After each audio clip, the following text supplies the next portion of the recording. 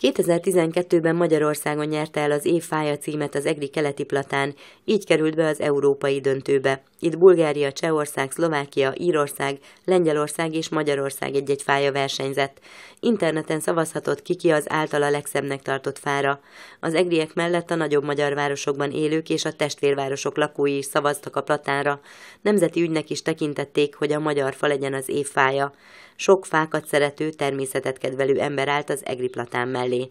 Megragadom az alkalmat, hogy megköszönjem mindazoknak a szavazóknak a segítségét, akik az interneten regisztrálva elősegítették azt, hogy megnyerjük ezt a nemes versenyt.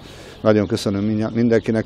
Ez is mutatja, hogy Egerben azért alakulóban egy olyan közösség, ahol is figyelünk egymás és a város érdekébe, azért egy kis fáradtságot is tudunk vállalni, és büszkék tudunk lenni a sikereinkre. A verseny végig szoros volt, sokáig a második helyen végző lengyelországi platán vezetett. Az alpolgármester abban bízik, hogy elviszi a város hírét a győztes keleti platán, felhívja a figyelmet a városra, és reméli, hogy az idegenforgalom is profitál belőle.